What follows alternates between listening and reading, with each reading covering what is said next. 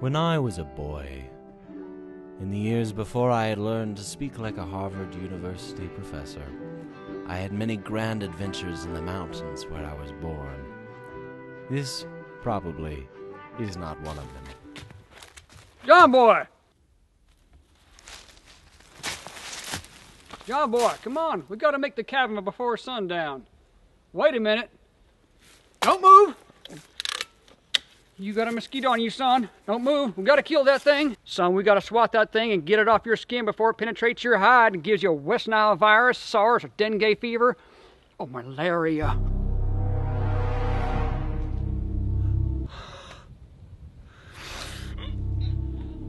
I, I can't do it, Papa. I just can't.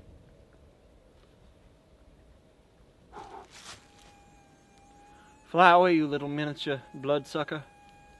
You little vampiric freak of nature. Go live a happy little airborne parasitic life.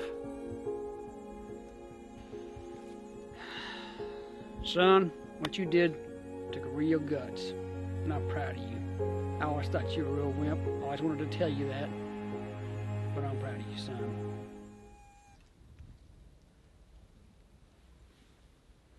Darn mosquito.